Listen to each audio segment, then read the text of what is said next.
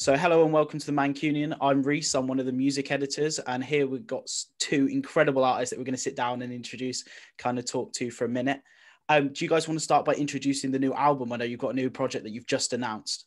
Yes, yes. So I'm Barney Artist. I'm Mr. Jukes. And yeah, we've got an album coming uh, called The Locket, which drops on July the 2nd. Excellent. That's amazing. And just to double check, so this album is a joint project between the two of you rather than the first album that Mr. Jukes released, which was a collaborative project that you featured on. Correct. Exactly. Yeah, Yeah, yeah, yeah. Excellent.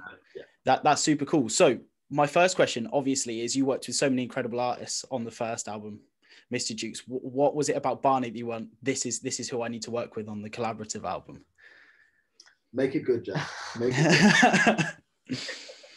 Um, I'm trying to think of something funny, but I can't. Great for the heartfelt, honest Right, response. But I mean, Mr. Jukes, like musically, was so exciting, but a lot of the collaborations were quite fleeting. Like, you Yeah. spend a day with people and then say goodbye. And you know, I made some some good friends, but as soon as me and Barney got in a room, and it was here in London because both grew up here, Yeah. we just instantly connected and like we're quite different, but at the same time incredibly similar. And so we could bring all these our different backgrounds musically and all that kind of stuff together, but in a way where I think we've we've like we're really honest with each other and we've learned a lot from each other. Excellent. Um, so Blowing Steam was the first album that you re- uh, the first single that you released off the new album.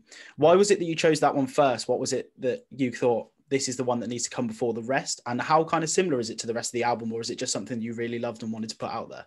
Um, it was the first. Well, it was the first one that we made together in terms Yeah. of this for this record. Um, we made it a while ago, actually. Um, so obviously, I I did a, a verse on the for the God First Yeah. album, like Yeah. one, and, and and that's where we met and we became really really good friends. But there was a there was a big gap in between that and then we made Blowing Steam, and I think during that time, me and Jack became really really like really really good friends.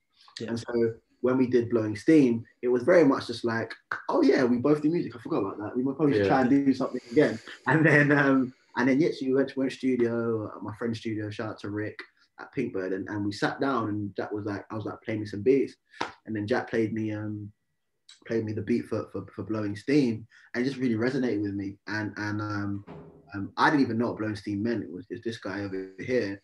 Um, I'm, I'm not as uh, you know cool and arty as this, this guy. And uh, and yeah, it was kind of like that that freedom of just vibes and energy and you know, and the beat is quite different and, and the instrumentation is really different. But it just really meshed together really, really well. Um, and yeah, and that's kind of why we wanted to release it first. I think it's a great taster of what the album is Mm. like, Yeah. um, in terms of how ecle- eclectic it is, but the feeling of it as well. Excellent. It is an awesome track. So if you're reading the article or watching the video now, you should really go check it out. Um, one thing that I wanted to talk about, you mentioned the artistic side here. Something that I've never really mentioned. The title of the track is Blowing Steam, and then in brackets, open up your mind. What was the choice for kind of the bracket section on the song title? What what does that mean from your guys' perspective? Wasn't it? Mm. Okay, well, I I was fighting for open up your mind. That wasn't really Okay. Your It was, it was all me. Like, I, I think no, I think what it is is like I think especially kind of coming out of um because at first it was actually wasn't called I hadn't hadn't have open up your mind. It was just, it was just called blowing steam. And I think the the the scratching that Chucks did, um, that's a shout out to Chucks our DJ, um, really cemented what the song was. So they, they kind of came Yeah. later. Um, and also kind of just like in this period of time where it's like, you know, it's a new it's a new collaboration, things are opening up. It kind of just felt like it was the best thing to kind of say Mhm. in that kind of Yeah. like, you know, in that in that section where it was like, okay, cool, here's a little break, here's a little break, open up your mind, open up your mind, chill, let's go back in again. And I think that's it. And I think that's why we kind of wanted to put that in there in, in, in, in the song. Brilliant. That's that's awesome. So you mentioned that you kind of guys met on the God's First sessions and the albums. How has the writing process changed for you, kind of the songwriting techniques since that first project together? Is it mainly the friendship between you that just makes everything flow a little easier now, or is there anything that you've noticed that's different? Yeah, I guess just being more comfortable with each other and like Barney lets me look at his lyrics and like mark them like a school teacher. Um, but other than that, it's kind of been very similar to that first time we met. Mm. Um, it's quite um, free flowing in the studio. Like sometimes we'll meet up without an agenda, and a lot of the times we come in and just spend a few hours just chatting about Yeah. when we were working together, it was obviously a crazy time in the world, not just the pandemic, but all kinds of stuff going on. So we kind of just meet and time would fly by and then we'd be like, oh, should we, should we try and make a beat? And then a few hours later, we'd have a song. So rather than like a lot of music and maybe it was a bit more like this with God First, it was, everything was an agenda and like, okay, this is going to go here and I'm going to plan this out. Because my mind usually does work that way, like lots of order. So it's quite liberating to do it this way, where you can kind of just see where it takes you. And as long as you're feeling relaxed and letting things happen, you know, great things can happen that way. Yeah, that, that's brilliant. I get that because like the, the comfortable aspect between the two of you, kind of the flow, that's what creates the best music. That's what I've heard from kind of all artists out there, regardless of genre. Like if there's no expectations, you get the best out of the music, if that makes sense. Um, so I've heard a rather touching story about how you two first met or how you got Barney on the first the first God's first sessions. Do you want to touch on that? I heard that you fa- you met found him on a playlist somewhere and it just it just wouldn't go away. This song that you heard. Wh- can you tell us which one it was? It's called Space. Yeah, space. Yeah. Yeah, space. Yeah. I'm such a nerd. I remember I was buying some new headphones and I had a playlist just to like test out how good they were. Yeah, And like respect to how good that song sounds because that was on that playlist because it just sounded so. Yeah. I need permission. I need permission from the headphone company. Um, but I know I remember just hearing like your flow and thinking, I've been making beats for so long and always kind of keeping my ear out for an MC that I'd like to work with because they've always just been instrumental. Yeah, Um, and I just remember hearing that and being like, I should I should reach out because this is like kind of what I've been hearing in my head the whole time when I've been uh, making these beats. excellent. And what was it like receiving that call, Barney? Like just on the other end of the phone, like I, I can't imagine that feeling, you know? Well, I was uh, I was working. At, I was I was I was uh, working in retail. So I was uh, working at uh, my, the jean shop, and I got Mm. this message being like, "Oh, Jack, um, Mr. Jukes wants to work with you." And um, to be honest with you, I actually wasn't too familiar with, with Jack. Sorry, mate. um, uh, but I was like, okay, cool. And I, and I went to, and actually checked out God. I remember I listened to it in the shop. Actually, I put God first on in the shop. Um, and I didn't even really realize that Mr. Jukes and Bombay like, were the same, like, Yeah. the same whatever. So I was like, oh, this guy's wicked. And then yeah, we went to went to the studio, um, and we just absolutely hit off. Like I think it was just like, I think Jack, in the best way possible, and I don't want to put words in your mouth. I think the God First process of him making the album was a lot of work in terms of like meeting a lot of people Mm. and a lot of different types of personalities, different type of characters. Some people that were way more extrovert, some people that were way more introverted, all that Mm. kind of stuff, traveling everywhere. And I think me coming in at the end was just kind of like a nice, just like, oh, a guy from London Yeah. that gets Yeah. me like, and it was like really like just chill and lovely and so much laughter and jokes. And then from there, we literally just sparked up a friendship, and it was just a really, really easy, easy time. And I think that's kind of from on my end, that's what kind of happened. That's amazing. I mean, that's kind of says it all, really. Like that's that's where the camaraderie comes from. That's where the friendship comes from. Um, you mentioned earlier that all the stuff that's been going on in the world and all the different stuff that's been happening. I wanted to ask: Did you think that you'd be announcing this album, kind of, if it wasn't for COVID? Do you think you'd have had that time to work together, or do you think maybe you'd be touring with the new Bicycle Club album that came out last year? It's true. I probably would have been really busy. Yeah, 100%. Yeah. yeah, he wouldn't have been here. I mean, so many different, so many things could be different, I suppose. hundred But yeah, it. I mean, working on this really like was something to focus on in a really healthy way during Yeah. a time where it was really easy for like days to just pass without you really knowing what time even was. Yeah, So to have that kind of uh, something solid there, yeah. I think really helped like my mental health for sure. Um, putting all your kind of yeah, putting all your effort into a project.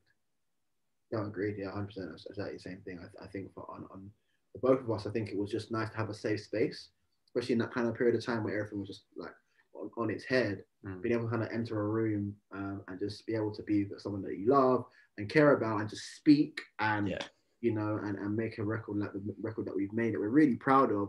You know, it's, it's the reason why we called it the Locket in the first place is because I think that time period was tough, but also made you really value friendship and love and, and Mm. relationships. And I think the Locket in itself as a record is kind of like a musical embodiment of a capsule of time where we were together in that in that moment, and, and that's why we just love it so much. We're very proud of it. That sounds very powerful, and I get completely what you mean. Like putting your effort into something creative, certainly, I think has helped a lot of people recently. Mm-hmm. How has how was collaborating like during COVID? Was it really difficult to get into the studio and find different stuff and work around the re- the restrictions, or did you did you kind of have you had it all sorted and kind of figured out? Well, luckily we were a bubble. Do you know what yeah, I'm saying? Yeah. So we, like, we, we had to be like a bubble, um, and, and yeah, we kind of like we couldn't, couldn't receive any anyone. wow. All I saw, I just saw no one but you. Oh, like every, it was like it was so funny, like literally like every day. Like we'll be there like Monday to Friday, and if he wasn't together, I'd come, to, I'd go to his house for, for dinner. He might come to mine for whatever. Do you know what I'm saying? It was very yeah. much. So what was even amazing about the, the, the making of this record is like even like our, our families. Do you know what I'm saying? Like yeah. Jack's family. Do you know what I'm saying? Yeah, like, yeah. Jack meeting my mom, and Jack, it, it, it, it really we become really really close and, and family as it were. And you know even like when it comes to people that are on the album or you know featured on the album, our rule was anyone that's on the album we have to have a relationship with. Yeah. Whether it's on blowing steam, you hear the scratching. That's my DJ Chucks, who's actually like one like my best friend. Do you know what I'm saying? Like nice. he's the album, or you know what I'm saying. And so it was very much a real a family affair. Family affair. Yeah, yeah. Excellent. And I mean, I think that's something that we're all looking forward to. So it's probably the perfect time for the album to come out as everyone's starting to meet their families again. You get that kind of, and you know what you find what you've been missing, but also you get that album that exp- like explains it to you and that you can talk about. Mm-hmm. Um, in terms of the album being collaborative, you mentioned your DJ there that's kind of featured on it as well. Who who else is on the album? Who else can we look forward to? Anyone that you can mention or that you really enjoyed working with? Yeah. Um, or like Kofi Stone um, and, and Lex Amor are both on the album, and they're the kind of like the main features in terms of like yeah. stuff. And, and I have a very good relationship with both of them. And then we have like, you know, uh, Johnny on trumpet and Frida on vocals. And, oh yeah, you know Frida, yeah, yeah. You know I'm saying? And we have, but it's, it's, it's really weird because it was very small knit uh, everyone we yeah we spoke to and, and had time with and spoke to them about yeah. stuff and you know even was, the covers like just places that yes. mean a lot to us. Yes. Like within the locket. Yeah. Um, that place is like our favorite that yeah. place to go get. Yeah. Uh, curry goat and yeah. jerk chicken. And, yeah, yeah, yeah. Nice. Uh, well, the church of my mum, my parents' house. Yes, exactly. Yeah, yeah. I remember that we had a session at, at Jack's parents' house, um, and I couldn't think of lyrics. That was like, "Just go for a walk," and, he, and I, I walked out of his house, and there's like a church right outside his house, and I walked back, and I came back with like lyrics. oh my god, it worked. The greatest lyrics you've ever heard. it was God himself, mate. Uh, but yeah, so yeah, it was very much a, a family affair. Brilliant. Well, I think that's kind of all we've got time for. But thank you so much for joining me. I also want to thank Alana Williams, who's helped me write up some of the questions for today. She's a massive fan too. Uh, she wanted to make sure that she asked you some interesting stuff, and I'm really looking forward to the record. I can't wait for it to hear out. Do you just want to just announce when when it's coming out real quick, and then we'll wrap everything up? Yeah. So I'm Barney Artist. Mr. Jukes. And our album, The Locket, is being released on the 2nd of July. I hope you guys love it as much as we do. Brilliant. Thank you ever so much.